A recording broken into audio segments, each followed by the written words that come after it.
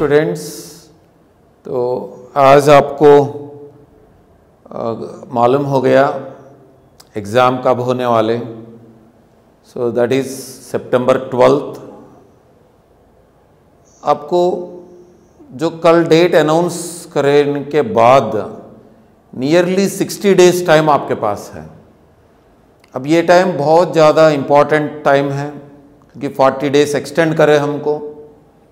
तो ये 40 days extension के वजह से हम अब ये स्टेज में क्या करना है फिज़िक्स को और थोड़ा मार्क्स इम्प्रूव करना बोले तो। तो ऑलरेडी हम फिज़िक्स में एक स्टेज में है, आपको मालूम होगा। थोड़ा स्टूडेंट्स 160 रेंज में है, थोड़ा स्टूडेंट्स 140 में है, थोड़ा स्टूडेंट्स 120 में 100 में डिफरेंट रेंजेस में है स्टूडेंट्स तो हर कोई अपना रेंज को और थोड़ा बढ़ा सकते हैं अभी ये स्टेज में। क्योंकि अभी हमारे पास 60 डेज़ टाइम है, उसमें हम एटलीस्ट जो फ़र्स्ट ईयर में जो या सेकंड ईयर में मिला के जो चैप्टर्स हैं near about 28 chapters excluding that physical world and communication system ये 28 चैप्टर्स का हम ईच चैप्टर का ईच चैप्टर का 1.5 डेज़ इसका मतलब टू चैप्टर्स का थ्री डेज़ टाइम अगर हम दिया ईच चैप्टर का 1.5 day nothing but two chapters का थ्री डेज़ टाइम अगर प्रोवाइड करें हम तो हम अच्छे रिवीजन कंप्लीट कर सकते हैं एक फिज़िक्स का। क्योंकि जितना डेट एक्सटेंड हुआ, वो 42 डेज़ जो एक्सटेंड हुआ, वो 42 डेज़ हम इसके लिए एक बार यूज़ करें समझो। डेफिनेटली हमारा मार्क्स हमारा रेंज से एक नियर बाई 40 मार्क्स तक इम्प्रूव होने का चांस रहता है एटलीस्ट 20 तो इम्प्रूव होता। एटलीस्ट 20 मार्क्स तो इम्प्रूव होता। तो क्योंकि एवरी मार्क इज़ इंपॉर्टेंट आपको मालूम है तो सीट गेटिंग में। तो हमारा सीट गेटिंग जितना इंपॉर्टेंट है, उतना ज़्यादा इंपॉर्टेंट जो है, हम बाउंड्री में नहीं रहना। तो कंपलसरी एबो रेंज में जाना, क्योंकि कंपटीशन तो एज यूजल रहेगा। अभी डेट इंक्रीज करने की वजह से कम नहीं होता, ज़्यादा भी नहीं होता। तो नॉर्मल जैसा है वैसा ही कंपटीशन रहेगा।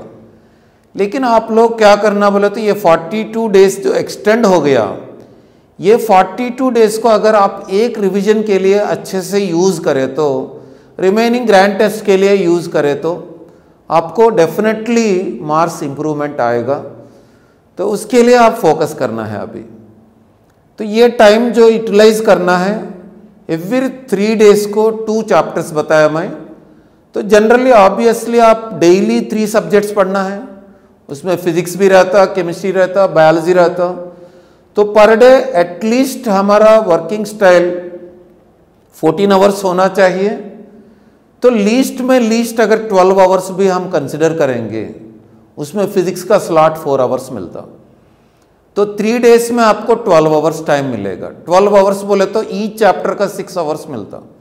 तो six hours time is a sufficient time to revise the chapter perfectly so you you can go with concept you can go with formulas then you can go with problem solving at least per chapter if you solve sixty problems per chapter sixty problems nothing but sixty different models or 50 different models. So if you cover each model, then definitely your marks will improve in the exam so my student my dear students main आप ये 42 days जो extra मिल रहा तो उसको अच्छे से utilise करने के लिए कोशिश करें तो डेफिनेटली आपको लाइफ चेंज हो जाएगा तो जो आप बनना चाह रहे हैं वो डेफिनेटली आपको बनने का मौका मिलेगा, क्योंकि ये 60 डेज़ टाइम है अभी। तो 60 डेज़ टाइम जो है, आपको आगे 60 ईयर्स क्या होने वाले हैं, वो डिसाइड करने वाले हैं। तो ईच डे एक ईयर का इक्वल है आपका लाइफ में तो उसको आप नर्वस होने का ज़रूरी नहीं है, क्योंकि लास्ट ईयर फ़र्स्ट टाइम ऐसा एक्सटेंड करने की वजह से थोड़ा स्टूडेंट्स नर्वस होके तो पढ़ाई छोड़ दिया, लेकिन हम ये जो टाइम दिया एक्स्ट्रा हमको एक भगवान के तरफ़ से मौका मिला जैसा समझ के, अगर आप करें तो डेफिनेटली आप सक्सेस होते हैं।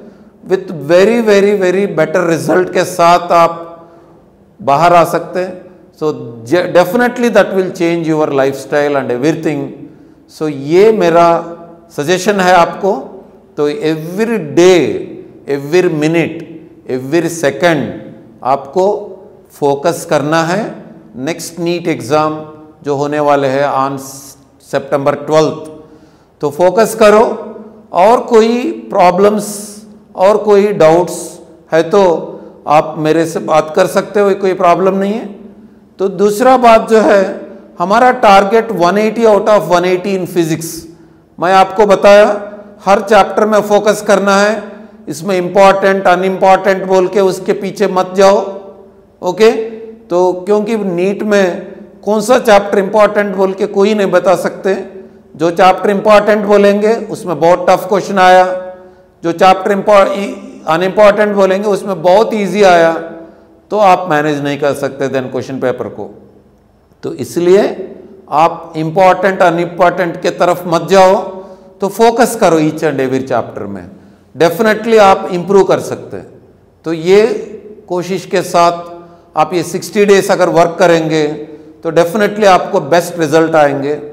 दूसरा जो थिंग है, हर चैप्टर पढ़ने के टाइम पे उसका फिजिक्स का टाइम कंपलसरी डिसाइड करके दे दो। एटलीस्ट सिक्स आवर्स देना है per chapter at least six hours chapter को दे दो। सिक्स आवर्स एक चैप्टर को देने के बाद डेफिनेटली आप चैप्टर के ऊपर अच्छे फोकस कर सकते हैं कॉन्सेप्ट भी रिवाइज कर सकते हैं फार्मूलाज भी एक बार रिवाइज कर सकते हैं सिक्सटी प्रॉब्लम्स तो मिनिमम कर सकते हैं। तो that sixty different model sixty problems बोले तो don't go with same models repeatedly तो sixty different models then definitely you can success okay ना? तो टारगेट 180 के साथ प्रिपरेशन चालू करो तो definitely you can achieve 180 out of 180 तो last minute last ten days में फिर से हम बताएँगे तो कौन सा स्ट्रैटेजी फॉलो करे तो करे तो आप फिजिक्स में आ, पेपर में मिस्टेक्स विदाउट मिस्टेक्स के साथ बहुत ज़्यादा क्वेश्चंस अटेम्प्ट करके बाहर आ सकते उसका स्ट्रैटेजी लास्ट में हम फिर से बताएँगे। ओके थैंक यू स्टूडेंट्स ये जो टाइम मिला तो आपका और एक टाइम और एक बार आपको बहुत अच्छे से रिवाइज करने के लिए एक मौका मिला समझ के चलो तो डेफिनेटली आपका इम्प्रूवमेंट रिज़ल्ट में इम्प्रूवमेंट डेफिनेटली रहेगा।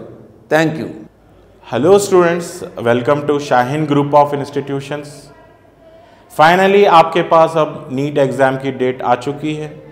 12 सितंबर को exams in this remaining 60 days अब आपका क्या अप्रोच होना चाहिए and what should be your strategy for getting 720 out of 720 marks okay so in today's uh, this video session we are going to discuss about approach for biology what we have to do as we know biology covers major portion of NEET exam 50% of NEET exam right 38 chapters altogether 11th and 12th biology and uh, let's see how to handle those units.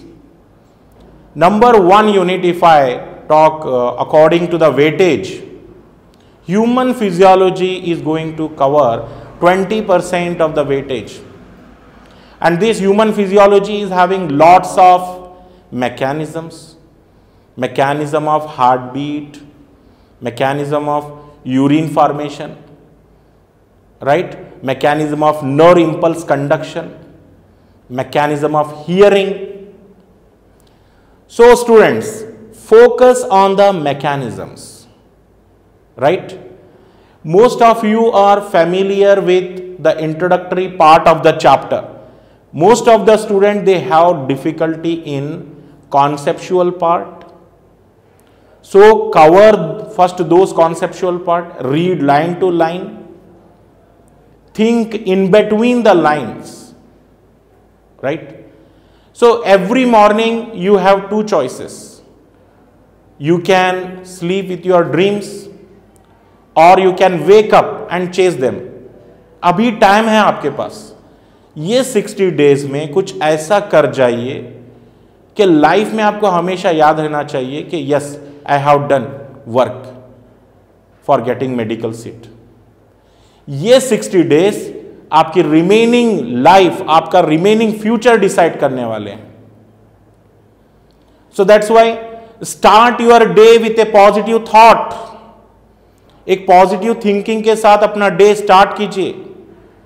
And start doing work your tomorrow's future depends on today's work what kind of work what kind of effort you have done to get a medical seat that is going to decide your future Hello students, welcome to Shine Group of Institution. Today we are going to discussing how to study NEET remaining 60 days. So whenever comes to chemistry subject, how to get 180 out of 180 marks in chemistry subject. See students remaining 60 days का हम लोग कैसे utilise करना chemistry में? Clear करो? First of all you have to read running notes so running notes is a very very best material for NEET exam remember students in running notes you in running notes, you have to read each and every point. After completion of running notes, you also read ncrt textbook. In ncrt textbook you have to read line to line. So after that one you have to solve the mcq question per day minimum 50 questions.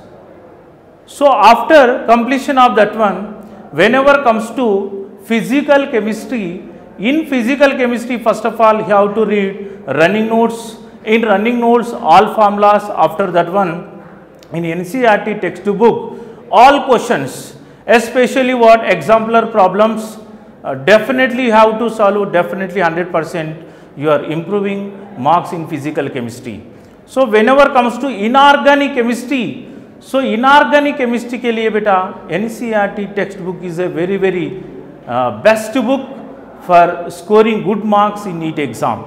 So first of all you have to refer NCERT textbook after that one running notes and also solve the MCQ question per chapter per day minimum 50 questions. See whenever comes to organic chemistry remember students especially in organic chemistry. So in organic chemistry direct questions are not asking nowadays. So the questions are asking indirectly. So first of all you have to focus on running notes especially on organic chemistry. After that one uh, you have to refer ncrt textbook especially mechanism for ncrt reactions. You have to remember that one. No need for uh, reading for all types of mechanism for all types of reaction. Whatever ncrt textbook given what? Mechanism for different types of reaction. You should complete that uh, mechanism of those reaction. After that one solve the question in organic chemistry also so especially in chemi- chemistry subject every year in biomolecule and polymers and chemistry in everyday life and environmental chemistry you should focus read only only ncrt textbook no need for other book for those chapters. Remember students uh, focus on subject concentrate on subject definitely. We are expecting this time also 180 out of 180 marks in chemistry subject. All the best student thank you